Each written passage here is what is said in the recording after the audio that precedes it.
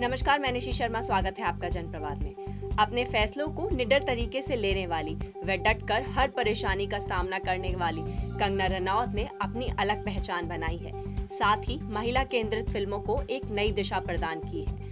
अब कंगना रनौत ने बॉलीवुड के फ़ेमस खान्स और कुमार के साथ फ़िल्म ना करने वाली बातों का खुलासा किया है।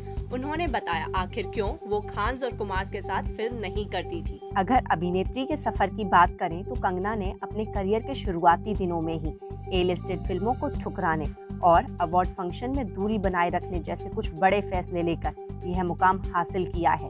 हाल ही में अभिनेत्री की अपकमिंग एक्शन फ़िल्म धाकड़ के ट्रेलर के रिलीज़ के दौरान जब कंगना से उनके इस फैसले के बारे में पूछा गया कि क्यों वो खुद को अवार्ड फ़ंक्शन से दूर रखती थी।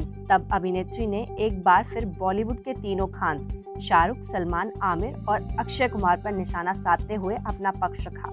कंगना बोली, जब वो खान और कुमार के साथ फ़िल्म बनाने से मना करती थी तो लोग उन्हें ताना देते थे कि वो अपने करियर खराब कर रही हैं। इसके बाद कंगना बोली जब आपके पास अपने भविष्य के लिए ऐसा प्लान होता है, जैसा किसी और के पास ना हो, तब लोगों को लगता है कि इस लड़की के साथ कुछ गड़बड़ है। कंगना ने ज़ोर देते हुए कहा, मुझे लोगों को फ़ोन आते थे। वो मुझसे बड़ी फ़िल्मों और पुरस्कार समारोह को बहिष्कारित करने के पीछे का कारण पूछते थे।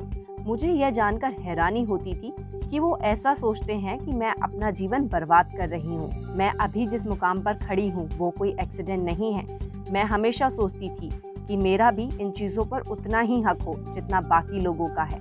मैं अपने आप को किसी से भी कमतर क्यों समझूं? कंगना आगे कहती है, मैं हमेशा यही सोचती थी कि एक दिन मेरा ये सपना ज़रूर पूरा होगा। मैंने इसकी योजना नहीं बनाई थी, लेकिन मेरे पास विज़न था। मैं इसे अकेली पूरा नहीं कर सकती थी। इसके लिए आपको टीम की ज़रूरत पड़ती है। यह एक टीम वर्क होता है, जिसके लिए आपको मुकुल जैसे निर्माता और राजदाई जैसे निर्देशक की आवश्यकता होती है।